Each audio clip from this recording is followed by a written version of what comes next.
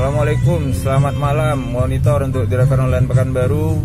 Mohon uh, diperhatikan keselamatannya dalam berkendaraan Karena curah hujan malam ini di Pekanbaru sangat tinggi Serta ambillah orderan di area ataupun titik yang bisa dilalui kendaraan roda 4 Dan tidak berpotensi banjir.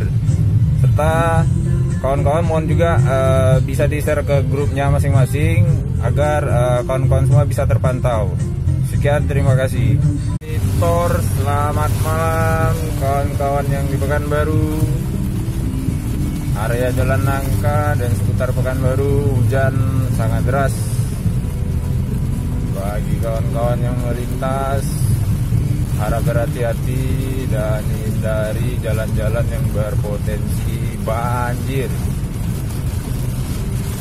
Oke, selamat beraktivitas. Bagi yang on beat